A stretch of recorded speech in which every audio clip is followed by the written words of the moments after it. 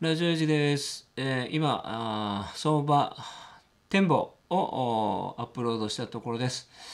えー、今週は取材から作成まで時間かかりましたね。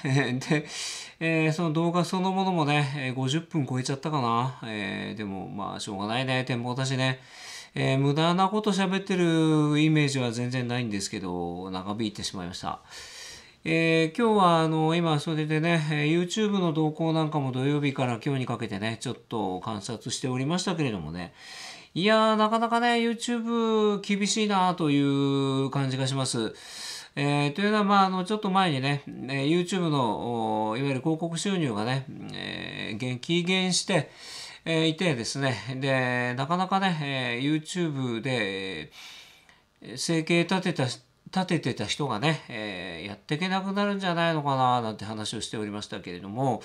えー、実際その後もねあれは気づいたのが僕4月の2日ぐらいだったんですけどその後もいっぱいそういう動画が上がっててで今もうね4月1日2日3日4月3日ぐらいかな気づいたの。3日か4日かなに気づいたんですけどその後ね、えー、もうまた1週間以上経ちましてねその YouTube の厳しい現状というのはえー、日に日に さらにその厳しさを増しております。はい。でね、えー、だから、まあそういう動画がまたさらに増えているんですけれども、なかなか厳しいぞと、これは 思っておりますね。えー、要はね、あの、やっぱりあの、YouTube の収益が半分以下かな？になっているわけですよ。だからまあ、だ大体ねどれぐらいでね YouTuber って収益で生活できるのかなっていうことなんですけどまあ人によるんでしょうけどね月収月でやっぱり30万円から40万円ぐらいは最低でもやっぱりないとまあ条件によるけどね厳しいのかなとまあ家賃が高かったりするとそれでも厳しいよね。あのそのだから住んでる場所そしてライフスタイルそれからその人のまあなんだろうえー、経済感覚にもよるんでしょうけどね、えー、最低でもやっぱり月間30万円40万円ないと厳しいと。でまあねあのあんまり知られてないことなんですけど、うん、YouTuber ってあの1個の広告の単価1個の1つの動画に対するね広告の単価がものすごい違うんですよ。で、えっと、人によってはね1再生が0.1円ぐらいの人もいるしで人によっては1再生が1.2円とかね1円超えてる人もいるんですよだからね例えば1万回再生されて、えー、1万円以上もらえる人もいるし1万回再生されても1,000円ぐらいしかもらえない人もいるんですよ。これはねで自分で決めることはできないんですね。でまた時期にもよるしで自分で決めることはできないんでもう再生単価がね、えー、広告単価が低い方は初めから低いですけど今回それがさらに半分になったわけですから これはねまあ大体調べてみてるとね一律半分なんだよね。なので、えーまあ、今までだから、えー、月に30万円ぐらいもらえてて YouTube、Google からねだこれだったらなんとかやっていけるわって言ってた人が半分になっちゃうと。で15万円ぐらいで、まあ、ギリギリ頑張ってた人が半分になっちゃうということでね。であるいはあの会社組織で YouTube やってる人いるわけじゃないですか。えー、編集さんを使ってるとかね、まあ、それも外注ならいいんだけど会社組織でそのスタッフとしてね雇い入れて、えー、そういう人たちと一緒に仕事をしてるって人もいるわけですよね。そういう形態でやってる方はまあね厳しいというかやっていけなくなっちゃうよねっていう話です。でまあ調べてみるとねあんまり関係ないっていうかまあ毎年4月はこんなもんだべとで3月はすごいんだけど4月になると半分になるからねっていうのが毎年ってる人もいて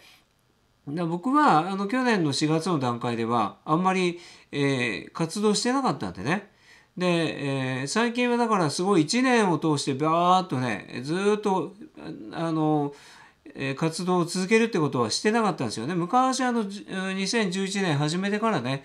2014年ぐらいまではね、えー、いろいろありながらも続けててで次18年に1回復活したけど割と短くやめてしまってで今回19年に復活して19年の11月に復活して今121234 5ヶ月経って今6ヶ月目に入ってるわけですけどね。6ヶ月目に入ってるわけでだからまあ僕もだから本当に経験の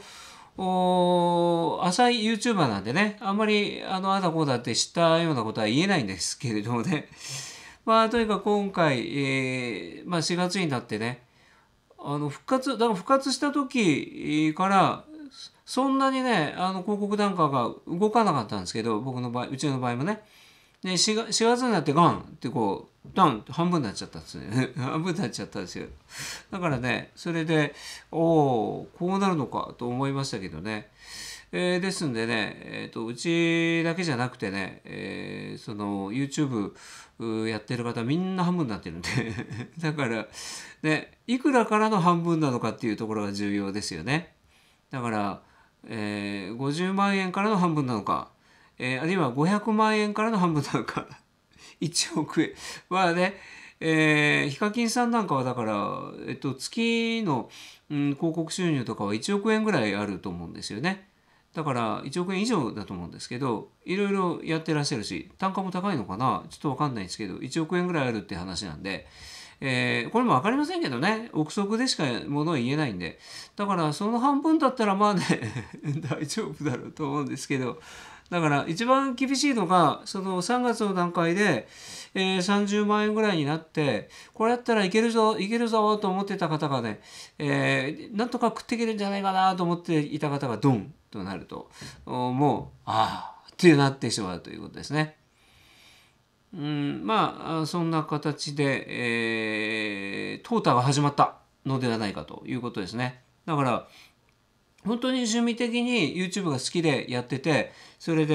えー、まあ別に収益がねどうなろうが、えー、自分は趣味でやってるんでね表現活動だからね関係ねえっていうふうにやっていらっしゃる方まあこれはもう全然あのねそのままやられるだろうと思います。で YouTube をビジネスとして考えていてなんとか食っていけるようになったぞっていう人がドンとなると、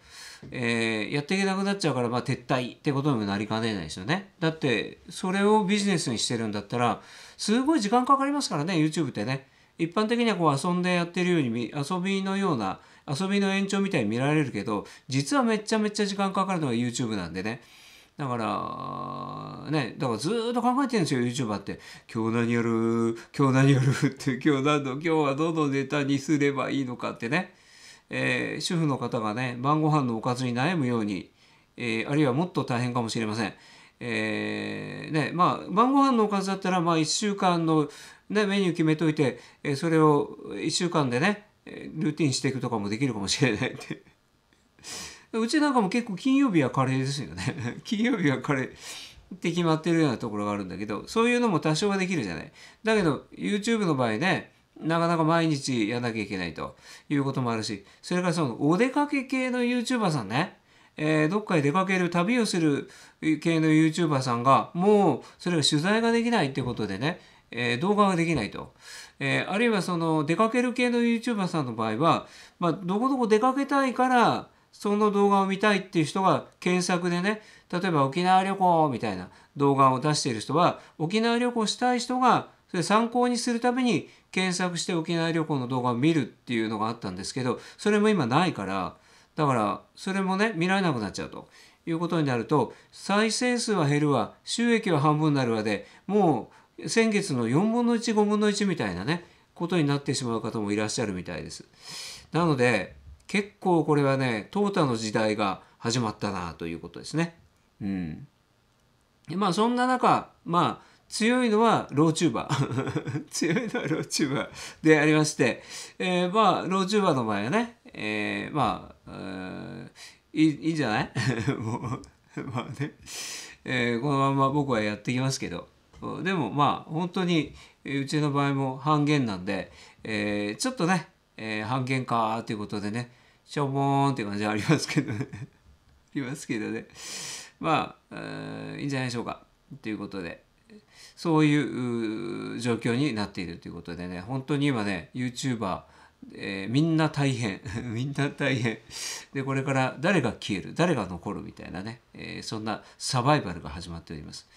えー、でまあ多くの YouTuber さんはね、うん、まあ、え、広告単価減っちゃった、え、収入減っちゃったけど頑張るっていうふうに言ってますね。え、まあやっぱり表現活動としてね YouTube っていうのは非常に魅力的な場でもあるのでねまあ僕なんかだから2011年からやってた時なんてね広告収入なんか何もなかったでしょ。え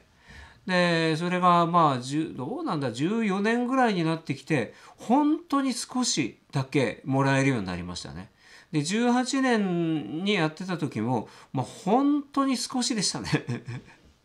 だから生活するなんて全然無理でしたね。えー、でね、あのー、19年の11月から始めた時にはわすごい と思いました。いやこんなに増えてるんだと思いましたけどね。へえとまあ11年とか18年とかとは全然違うなと思いましたけどね。それでもまあそれで、えー、3月まで来てあのありがたいなと思いながらやってましたけど、えー、4月になってねヨヨヨヨヨヨヨヨヨヨってなってふわーひゅわーって今なってますけどね。まあこれがどうなるか分かりませんけど、まあ僕自身はね、言ってるみたいに、え関係なく、ね、続けます。メインには2本、えそしてサブには2、3本みたいな、え1日にね。まあ土日はちょっと減るかもしれませんけどね。そんな感じでやってますけどね。えー、そういう状況になりました。ということで、まあ今ね、YouTube 半角収益とかね YouTube 半角収入とかね YouTube 半角収益激減とかね そんなキーワードで YouTube の動画探すとねいっぱいみんなのね YouTuber の嘆きが出てきますよ。うん、嘆きというかどうしようみたいなね、えー、話が出てきますね。えー、なのでまあねえー、大変ですね。えー、これはもちろんその疫学的リスクの影響も多分にあるけれども、まあ、4月は落ちるらしいんですよ。だけど疫学的リスクのね影響も多分にあるわけで、えー、その落ち方半端ねえっていう感じみたいですね。えー、そういう中で今 YouTuber もあえいでおりますということです。えー、だから、えー、まあ2回ずつ見てあげてください。なんじゃそれ。だからラジオ人の動画もねあの今まで1回再生で終わってた方はね2回ずつ再生していただきたい。違う。それは冗談ですけどね、えー、そうやってまあ好きな YouTuber さんを支援する。まあでもそれ多分あんまり意味がないね。多分またそれやっても広告単価がもっと下がるんで意味がないと思いますけど。それは冗談。冗談ですけどね。それぐらい今 YouTuber は今あえいでおりますということをねでだからまああの僕のチャンネルではね、えー、YouTube でまああのー、なんだ副業みたいなねあるいは、えー、老後でね YouTube でちょっと年金の足しみたいなねこともまあ前提案していたわけなんですけどちょっとここへ来てね なかなかそれはね難しいかな っていう気もしてきたんでね、えー、ちょっと夢をなんかあのー、ね夢の話が夢夢のある話ができなくなってるんですよ。だからちょっと申し訳ない部分もあるんですけどだからその辺りは少しね、えー、ちょっと YouTuber 厳しいかも っていうことをちょっとお伝えしておきますけど。だから今収益化の審査もね、え、収益化の条件もね厳しいし収益化の審査にももう何ヶ月もかかると思うんですよね。で収益化されてもね以前の半分とか3分の1みたいなね収益になってしまっているっていう現実があるのでまたね変化があれば、え、お話ししますけどそんなあ YouTube 淘汰の時代が始まっているということをねちょっとお伝えしておきたいなと思いまして、えー、お話ししてみました。夢のない話でごめんなさい。現実そうなってる。はい。そうなってます。